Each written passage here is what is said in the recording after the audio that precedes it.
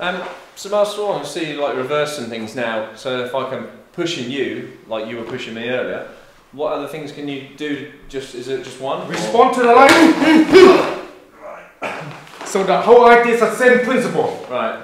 When you pushing, wrap it in. A lot of time when you push there and then come it in. Yeah. Yeah. So the line of it is same. like that. Yeah. Straight into that. Mm-hmm. And keep hold them. Yeah. So you open it up, Open them up. literally, and come in the center. Mm-hmm. So it's very simple So you movement. just gotta walk through, No, really. Yeah. To push, walk in, walk into there, and that's it. Job done. Mm-hmm. Pretty straightforward. Then. Pretty straightforward. Don't matter if you do it to me, I do it to you, you're still dead. Yeah. Yeah, don't matter, you know. I didn't get a chance that time. No. Maybe next time. Just answer the question fair. Yeah. Cheers. If you've been reverse, you pushing them, they are pushing you, you still do the same damage. It all depends how you use and move the hand. It's to answer the question fair.